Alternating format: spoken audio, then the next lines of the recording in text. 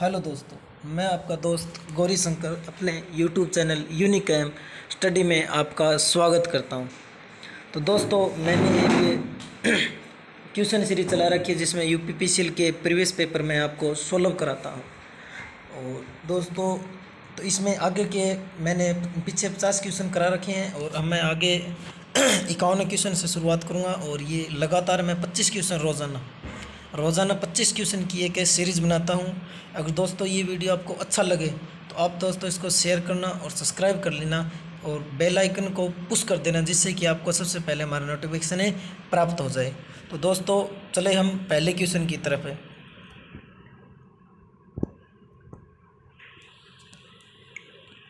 स्थायी चुंबक बनाने के लिए उपयोगी सामग्री। स्थायी चुंबक को बनाने के लिए उपयोगी यानी परमानेंट चुंबक को बनाने के लिए कौन सी सामग्री प्रयुक्त की जाती है? तो परमानेंट चुंबक बनाने के लिए निकिल निकिल प्रयोग किया जाता है परमानेंट चुंबक बनाने के लिए दोस्तों, एक तो। क्या क्या प्रयोग किया जाता है, निकिल प्रयोग किया जाता है दोस्तों। और परमानेंट चुंबक बनाने के लिए अगला ऑप्शन है कोबाल्ट कोबाल्ट भी प्रयोग किया जाता है, नरम लोहा। नरम लोहा स्थायी चुंबक बनाने के लिए नहीं प्रयोग किया जाता, अस्थायी चुंबक या विद्युत चुंबक बनाने के लिए इलेक्ट्रोमैग्नेट बनाने के लिए नरम लोहा प्रयोग किया जाता है। कार्बन इस्पात।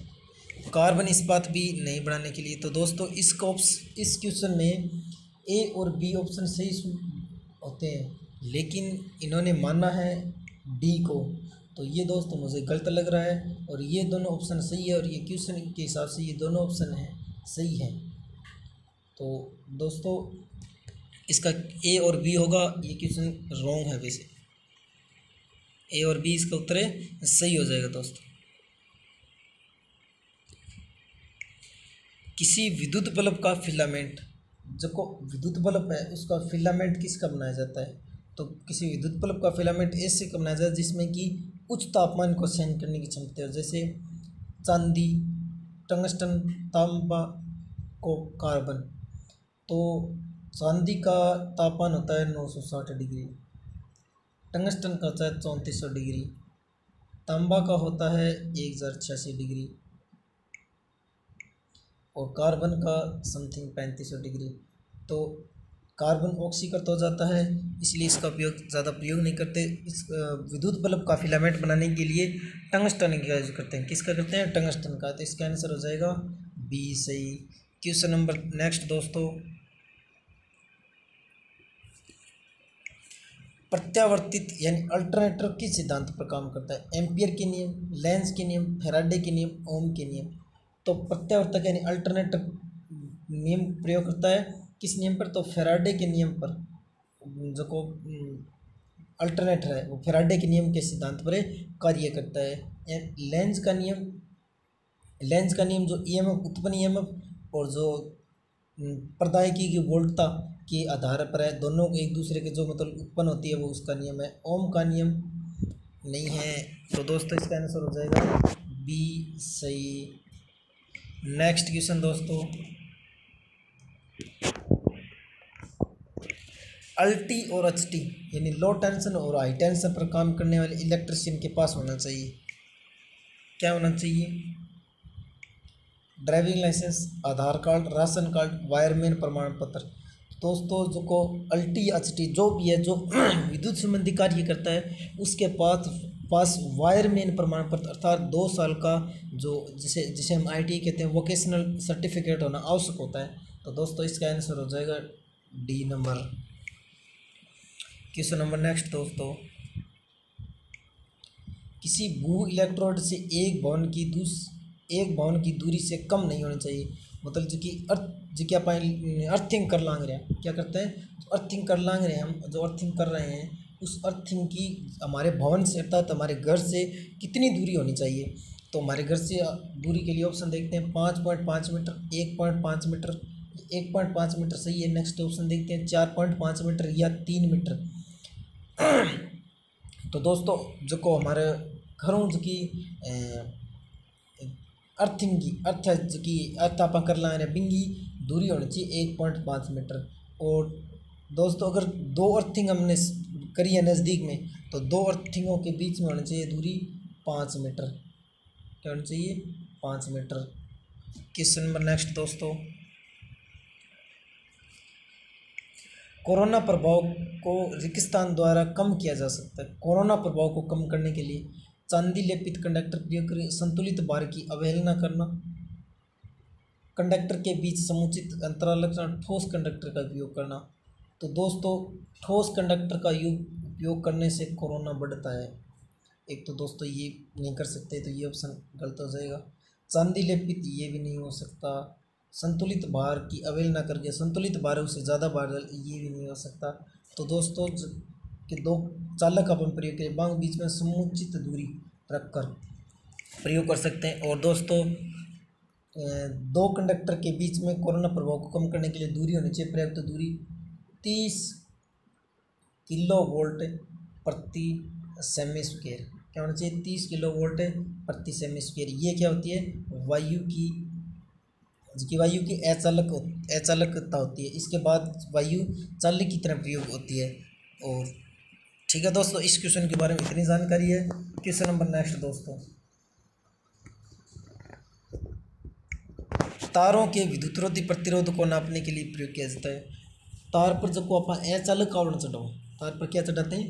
जो अचालक आवरण चढ़ाते हैं, उसका जो प्रतिरोध नापने के लिए प्रयोग प्रयोग किया जाता है मल्टीमीटर मल्टीमीटर को एवोमीटर भी कहते हैं। क्या कहते हैं? एवोमीटर। इसमें ओम जो प्रतिरोध, धारा और वोल्टेज तीनों को एक साथ मापा जा सकता है। मेग्र हाँ मेग्र उच्च वोल्टेज नापने के लिए प्रयोग किया जाता है। क्लैंप मीटर क्लैंप मीटर बिना परिपथ को तोड़े धारा मापने के लिए प्रयोग किया जाता है। टेकोमीटर स्पीड नापने के लिए प्रयोग किया जाता है। हाँ इसका आंसर दो नंबर हो जाएगा, अर्थात इसका आंसर हो जाएगा मेगर क्वेश्चन नंबर नेक्स्ट दोस्तों। किसी डीसी जनरेटर का ईएमएफ समीकरण क्या होता है? डीसी जनरेटर में उत्पन्न ईएमएफ का समीकरण पूछा है इसने दोस्तों। डीसी जनरेटर में उत्पन्न ईएमएफ का समीकरण पूछा है। तो डीसी जनरेटर में उत्पन्न ईएमएफ का समीकरण होता है दोस्तों फाइव जेड एन पी बटे में साठ इंटू ए। क्या होता है? इसमें ऑप्शन वो देख लीजिए फाइव जेड एन पी बटे साठ इंटू ए। तो इसमें दोस्तों, ए तो दे रखा है लेकिन बटे में दस कर रखा है। हाँ इसमें है दोस्तों, इसमें इसमें सौ कर रखा है और इसमें पचास कर रखा है बटे में। तो दोस्तों, जो है ना फाइव जेड एन पी साठ बटे ए अर्थात इसका आंसर हो जाएगा बी क्या हो जाएगा इसका आंसर दोस्तों? बी नेक्स्ट क्वेश्चन दोस्तों।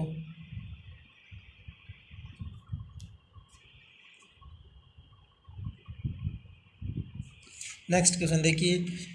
एवोमीटर को मापा जाता है। एवोमीटर द्वारा मापा जा सकता है। तो मैंने दोस्तों पिछले क्वेश्चन में आपको बताया था कि एवोमीटर में क्या क्या मापा जाता है।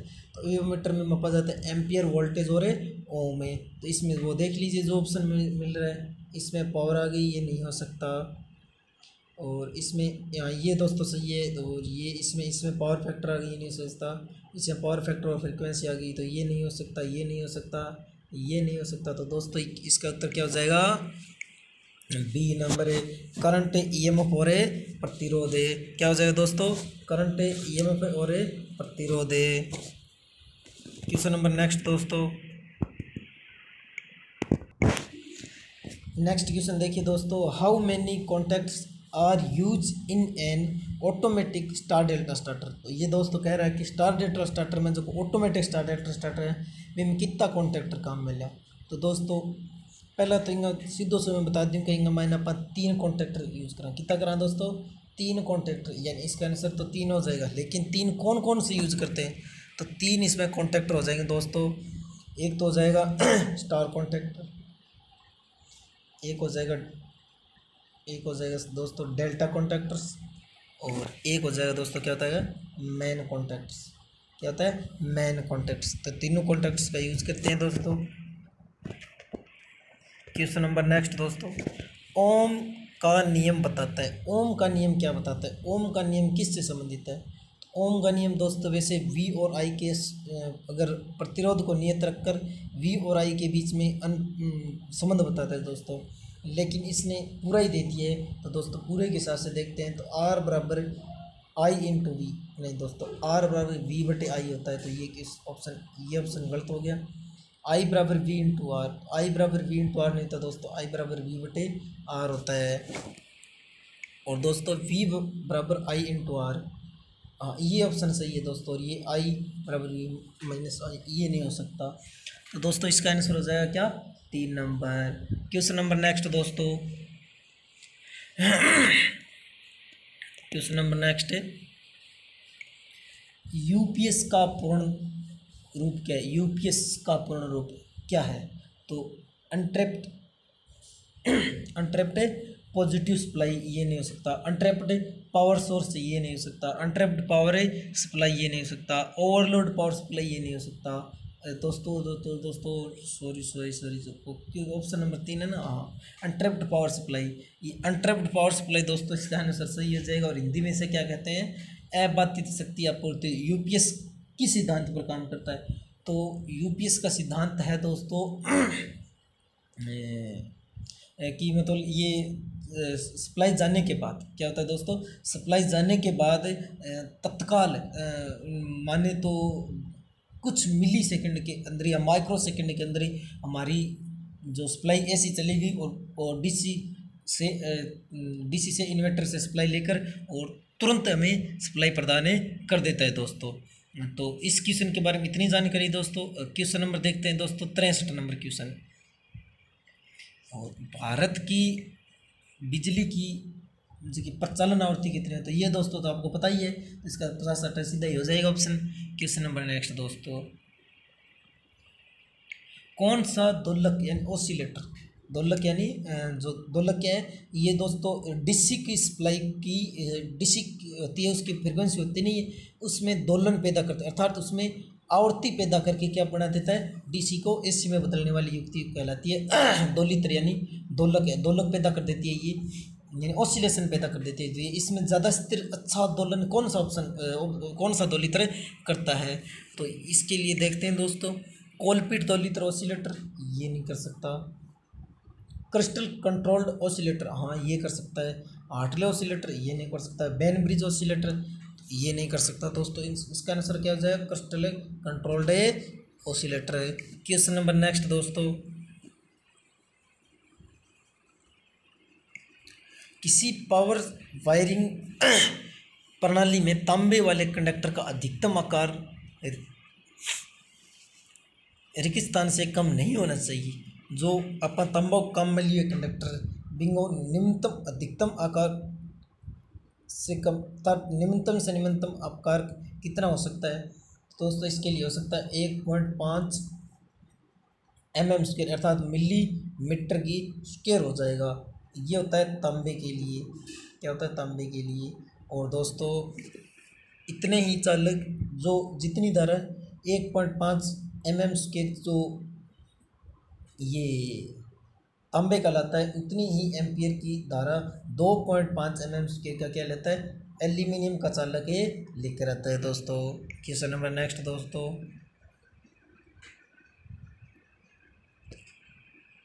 B I S bureau of Indian standard के अनुसार किसी भी संस्थान में अनुमत अधिकतम रिसाव विद्युत धारा पूर्ण भार विद्युत धारा कौन से अर्थात इसने पूछा है कि इसकी अपनी रिसाव अर्थात की भू संयोजन है, बिंग मायने आपने कित धारातें जा सके तो अर्थ लीकेज, अर्थात इसने पूछा है, अर्थ का लीकेज कितना तक हो सकता है?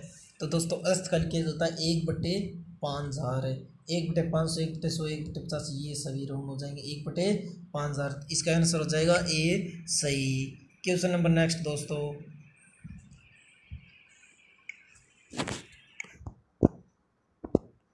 क्वेश्चन नंबर है? नेक्स्ट है, दोस्तों, किसी डीसी मोटर की दिशा बदली जा सकती है। डीसी मोटर की दिशा बदलने के लिए प्रत्यावर्ती इंटरपोल संयोजन नहीं, दोस्तों।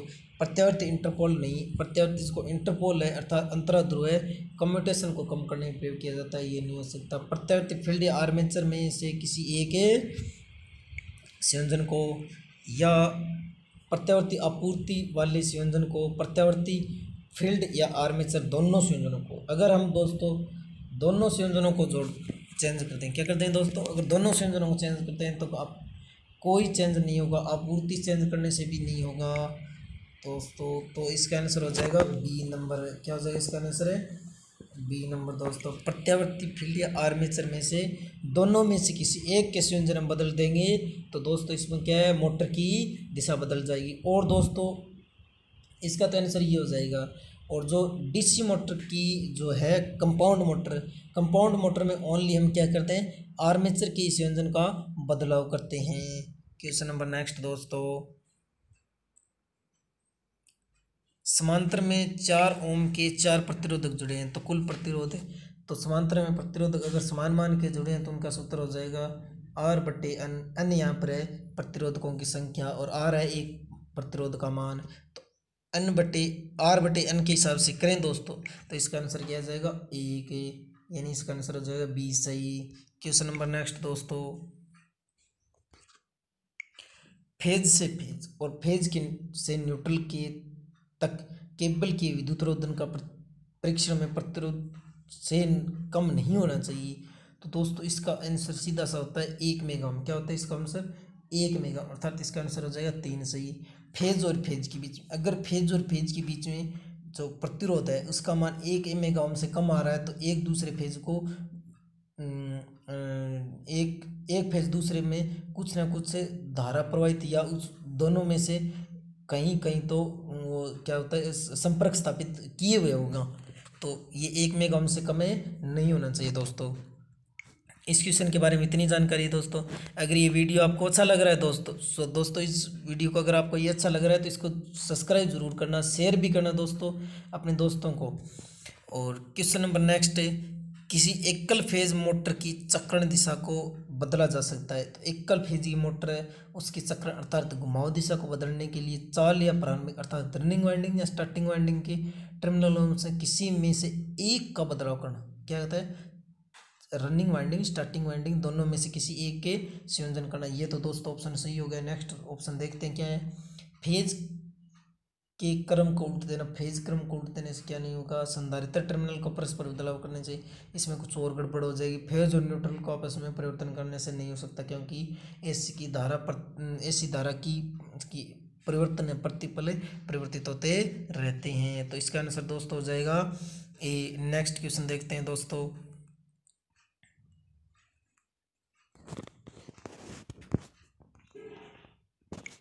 किसी एकल फ़ेज़ प्रेरण मोटर के शुरुआती और रनिंग जो की वाइंडिंग है, यानी स्टार्टिंग वाइंडिंग और रनिंग वाइंडिंग के बीच में कितने डिग्री का एंगल होता है? तो दोस्तों, जो कि सिंगल फ़ेज़ की के मोटर उसके रनिंग और स्टार्टिंग वाइंडिंग के बीच में फ़ेज़ एंगल होगा नब्बे डिग्री, तीन सौ साठ नहीं होगा, एक सौ बीस नहीं होगा, साठ नहीं होगा, और नब्बे डिग्री फ़ेज़ अर्थात जो एक दोस्तों और बता दूँ आपको एसी मोटर का जो विभाजन किया हुआ है एसी मोटर का अर्थात किन किन भागों में बांटा गया, वो भाग बांटने की क्या है, फ़ेज़ को विभक्त करने के आधार पर ही उनके भागों में बांटा गया है दोस्तों। क्वेश्चन नंबर नेक्स्ट दोस्तों।